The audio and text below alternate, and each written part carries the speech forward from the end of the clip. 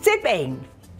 Het is het lekkerste wat er bestaat. Echt en zo makkelijk, maak het heel erg vaak. De tip is de overschotel. Een ovenschotel van overdingetjes die je over hebt.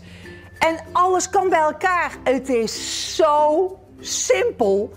Alles wat je lekker hebt, een beetje uh, uh, aardappel, wortel, whatever. Dan gooit het bij elkaar. Tip 2 is vries in wat je echt voor een volgende keer wilt of kunt gebruiken. En dat is gewoon echt heel erg veel. Ik heb hier een grote mal staan, maar als je bijvoorbeeld een ijsblokjesvorm, die heeft toch iedereen in huis, of kleine bakjes, uh, dan kun je gewoon heel veel kleine beetjes invriezen voor de volgende keer om daar gewoon wat lekkers van te maken. Tip 3.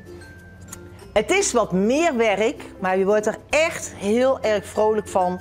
En dat is inmaken. Kijk, ik heb uh, hier Um, een heel klein beetje wijn of een heel klein beetje bier. Nou, zal bijna maar niet. Een achterhoeker die laat in ieder geval geen bier over. Maar misschien zijn er mensen die dat wel hebben. Um, maar een beetje fruit. In dit geval bijvoorbeeld stoofpeertjes. Het kan van alles zijn. Maak het in. Het is heel erg simpel. Suiker, die is lijstsuiker. Je pruttelt heel spul bij elkaar. Je doet daar, proeft het. Is het lekker? Je maakt het wat zoeter. Dat is tip nummer drie.